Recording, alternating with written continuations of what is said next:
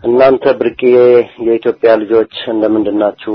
ትላንትና ዓለማችን ያላትን አንድ ትልቅ ሰው ጀግና ሰው አጣች።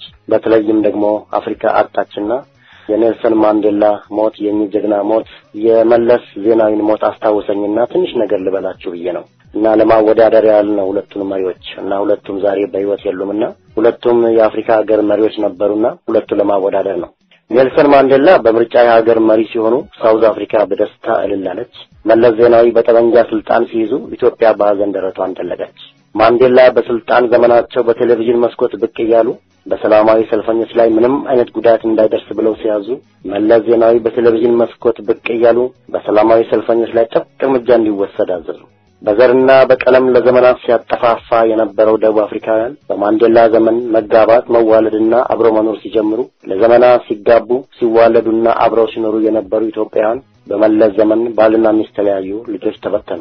ማንዴላ ፖለቲከኞችን ሁሉ ከእስር ሲፈቱ፣ መለስ ፖለቲከኞችን ሁሉ ወደ እስር ቤት ከተቱ።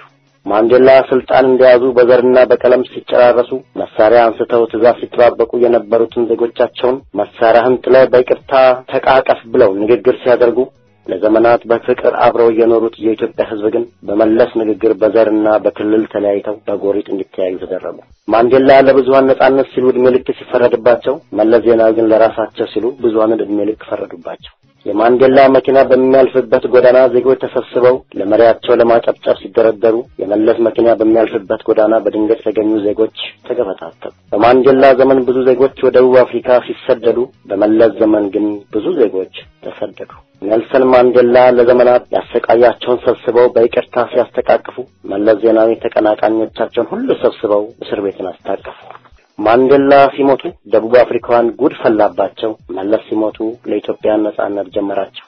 ማንዴላ ስልጣናቸውን በፈቃዳቸው ለሕዝብ ሲያስረክቡ መለስ ዜናዊ ስልጣኑን ከሕዝብ ቀምተው እስከ ሞታቸው ተንገበገቡ። ማንዴላ ሲሞቱ ደቡብ አፍሪካውያን ከዳር እስከ ዳር በሐዘን ሲወጡ፣ መለስ ሲሞቱ ኢትዮጵያውያን ከዳር እስከ ዳር ለቀብር በግድ ወጡ። ማንዴላ ከመሞታቸው በፊት ሀገርን በነጻነት አሳደጉ። መለስ ከመሞታቸው በፊት ብዙዎች ለባርነት ዳረጉ። የማንዴላ ቡድን ሕዝባችንን ሰብስበው ሲያስጠጉ የመለስ ቡድን ህዝባችንን በአረብ አስወጉ። ባወዳደራቸው ተነግሮ አያልቅም። ሁሉን ለመተረክ አረ የለኝም አቅም። ከሀዘኔ ሁሉ በጣም ያሳዘነኝ ባስበው ባስበው እጅግ የገረመኝ ያው ራሱ አፈር ጨካኙን የበላ አፉን ከፍቶ አለ ማንዴላን ሊበላ። ማንዴላ ማዲባ የህዝብ ሁሉ አባት ይኸው ብዮታለው አፈር ይቅለልሎት። በጣም አመሰግናለሁ። እችን ግጥም ስለምታሰሙልኝ ለኢትዮጵያ ህዝብ በጣም አመሰግናለሁ። ባታሰሙም አላዝንም ማለት በጣም የተጣበቀ ጊዜ ስላላችሁ ቅር አይለኝም። በተረፈ በጣም ወዳችኋለሁ። ባይ።